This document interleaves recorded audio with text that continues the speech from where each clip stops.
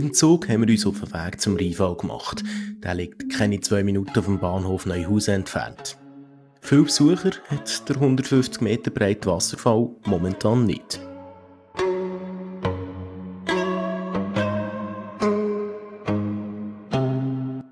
Mit einer Abflussmenge von ca. 600.000 Liter pro Sekunde ist der Rheinfall der grösste Wasserfall von Europa.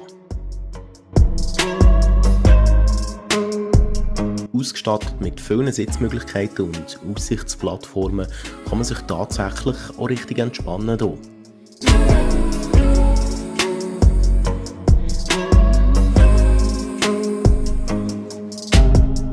Wenn man nachher über die Brücke auf die andere Seite geht, kommt man zum Restaurant Schloss Laufen. Dort äh, kann man etwas Feines essen oder man geht durchs Töre weiter und läuft alles ab.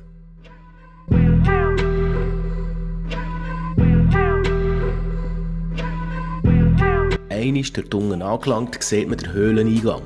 Dort läuft man durch und BOOM! Wir haben atemberaubende Aussicht auf die enorme Wassermenge.